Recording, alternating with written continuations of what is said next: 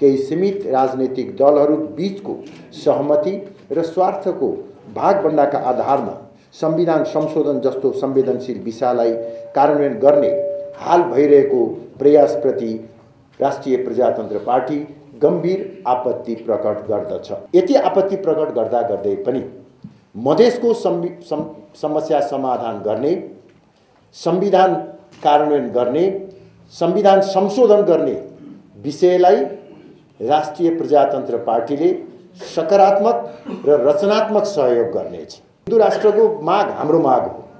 त्यसको निमित्त हामी गर्छौँ। अब हिन्दू राष्ट्रको माग पुरा गराउनको निमित्त राष्ट्रिय अखण्डतामा आघात पुग्ने ढङ्गबाट अरू कुनै प्रस्ताव आएको छ भने त्यसलाई हामी कसरी समर्थन गर्न सक्छौँ?